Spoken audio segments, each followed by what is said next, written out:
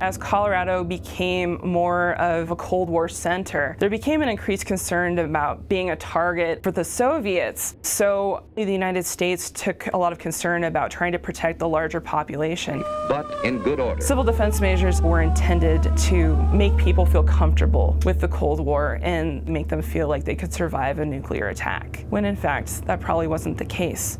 Early civil defense manuals will tell you that you can survive an attack. Some people started building fallout shelters in their backyards in an effort to try to save themselves and their families in the event of an attack. Most people recognized that atomic attack would take a large toll on the population.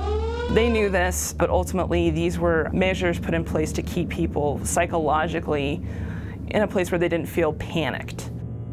But the big concern uh, was what to do with kids, school. So that's where those ideas of duck and cover are going to come in. Dum, dum, there was a film that was produced by the Archer Company out of New York City. It was called literally Duck and Cover, and it featured an animated turtle by the name of Bert. And Bert tried to tell children, hey, you can survive this. All you need to do is go somewhere and duck and cover. You can smash in buildings, knock signboards over. It gave students some feelings that perhaps they could survive. This is something that I could live through. So it made sense to them, and this was for a young audience.